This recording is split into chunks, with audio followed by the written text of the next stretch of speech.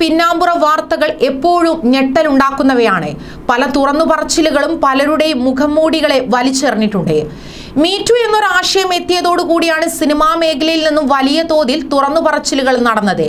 ആരാധകർ ഒട്ടും പ്രതീക്ഷിക്കാത്ത താരങ്ങൾ പലരും ആരോപണങ്ങളുമായും ആരോപണ വിധേയരായും എത്തി. ഇത്തരത്തിലുള്ള വാർത്തകൾ അല്ലെങ്കിൽ വെളിപ്പെടുത്തലുകൾ വലിയ വാർത്താ പ്രാധാന്യം നേടാറുണ്ട്. ഇപ്പോഴിതാ ഇതേക്കുറിച്ച് പത്മപ്രിയ മുമ്പ് നടത്തിയ ഒരു അഭിപ്രായ പ്രകടനമാണ് വീണ്ടും ചർച്ചയായിരിക്കുന്നത്. പേരും പ്രശസ്തിയുമുള്ള നടിമാരും സംവിധായകർക്കും നടന്മാർക്കുമൊപ്പം കിടക്ക പങ്കിടുന്ന പ്രവണത ഉണ്ടെന്ന് താരം പറയുന്നു.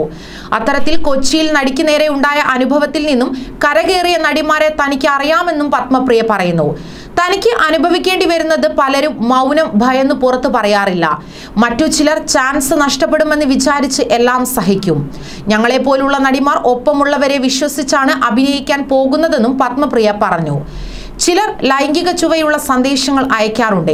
ഒരു കണക്കിന് ഇതൊക്കെ ലൈംഗിക പീഡനമല്ലേ? പ്രതിഫലം ലഭിക്കുന്നില്ല എന്ന് പറയുന്നത് പോലും സിനിമാ രംഗത്ത് കുറ്റകരമായി കരുതുന്നു.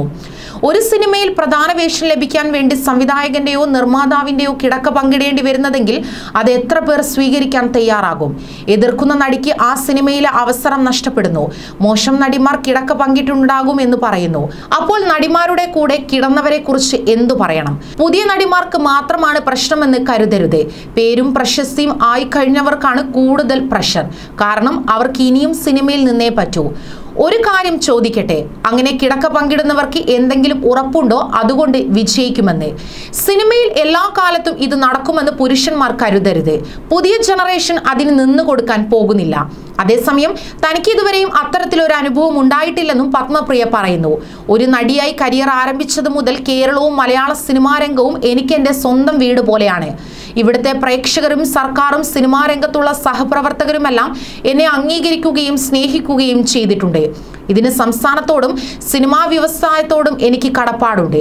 ഈ സാഹചര്യത്തിൽ ഒരു കാര്യം വ്യക്തമാക്കാൻ ഞാൻ ആഗ്രഹിക്കുന്നു. കാസ്റ്റിംഗ് കൗച്ച് എന്ന് വിശേഷിപ്പിക്കാവുന്ന ആ സംഭവത്തിന് ഇതുവരെ എനിക്ക് ഇരയാകേണ്ടി വന്നിട്ടില്ല. ഒരു അഭിനേത്രി എന്ന നിലയിൽ എന്റെ കഴിവ് കൊണ്ടും സിനിമാ രംഗത്തെ സഹപ്രവർത്തകരിൽ നിന്നുള്ള ബഹുമാനം കൊണ്ടും മാത്രമാണ് എനിക്ക് അവസരങ്ങൾ ലഭിച്ചത്. ഇത്തരത്തിൽ മാപ്പർഹിക്കാത്ത ഒരു അതിക്രമം സഹിക്കേണ്ടി വന്നവർ ആരായാലും ഇതിനെതിരെ ശബ്ദമുയർത്തിയേ പറ്റൂ. ഇന്ത്യൻ സിനിമയിലെ മൊത്തം അവസ്ഥയെക്കുറിച്ചുള്ള പൊതുവായ ഒരു അഭിപ്രായമാണ് ഞാൻ നടത്തിയത്. ഒരു സിനിമാ പ്രവർത്തക എന്ന നിലയിൽ കാസ്റ്റിംഗ് കൗച്ച് പോലുള്ള പ്രവണതകൾക്ക് വിധേയരാകേണ്ടി വന്നുവെന്ന് പറയുന്നവർക്കും അതിന് വിധേയരാവാൻ സാധ്യതയുള്ളവർക്കും അവർ ആണുങ്ങളായാലും പെണ്ണുങ്ങളായാലും ശരി. അവർക്ക് പിന്നിൽ ശക്തമായി തന്നെ നിലയുറപ്പിക്കും ഞാൻ. നമ്മൾ ഇവിടെയുള്ളത് ജോലി ചെയ്യാനും ഒരു കലാരൂപം സൃഷ്ടിക്കാനുമാണ്. അതിൽ തുല്യതയും സുരക്ഷിതത്വവും ആശ്രയിക്കാവുന്നതുമാക്കാമെന്നും പത്മപ്രിയ പറഞ്ഞു. അഭിനയത്തിന് പുറമെ നല്ലൊരു നർത്തകി കൂടിയാണ് പത്മപ്രിയ.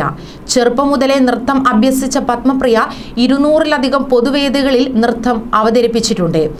നാട്യബ്രഹ്മ വി എസ് രാമമൂർത്തിയാണ് ഗുരു. ആയിരത്തി തൊള്ളായിരത്തി തൊണ്ണൂറുകളിൽ ദൂരദർശന് വേണ്ടി നൃത്ത പരിപാടികൾ അവതരിപ്പിച്ചു. അഭിനയത്തോടും മോഡലിങ്ങിനോടുമുള്ള അഭിനിവേശമാണ് പത്മപ്രിയ അഭിനയവേദിയിൽ എത്തിച്ചത് രണ്ടായിരത്തി മൂന്നിൽ തെലുങ്ക് ചിത്രത്തിലൂടെയാണ് സിനിമാ ലോകത്തേക്ക് കടന്നു വന്നത് പിന്നീട് നിരവധി മലയാള ചിത്രങ്ങളിൽ ശ്രദ്ധേയമായ വേഷങ്ങൾ കൈകാര്യം ചെയ്തു. മലയാളത്തിൽ മോഹൻലാൽ മമ്മൂട്ടി സുരേഷ് ഗോപി അടക്കമുള്ള സൂപ്പർ താരങ്ങൾക്കൊപ്പം പത്മപ്രിയ അഭിനയിച്ചിട്ടുണ്ട്. കൂടാതെ ഒരു ഹിന്ദി ചിത്രത്തിലും താരം അഭിനയിച്ചു. കാഴ്ച എന്ന ചിത്രത്തിൽ മമ്മൂട്ടിയുടെ നായികയായിട്ടാണ് താരം മലയാളത്തിൽ എത്തിയത് അമൃതം. രാജമാണിക്യം കറുത്ത പക്ഷികൾ Naalu Pennungal Bhoomi Malayalam Kuttisrank Seniors Cobra Poppins Tiyaan Pazhassiraja Paradesi യോബിന്റെ പുസ്തകം എന്നീ ചിത്രങ്ങളിൽ ശ്രദ്ധേയമായ കഥാപാത്രത്തെ അവതരിപ്പിച്ചു.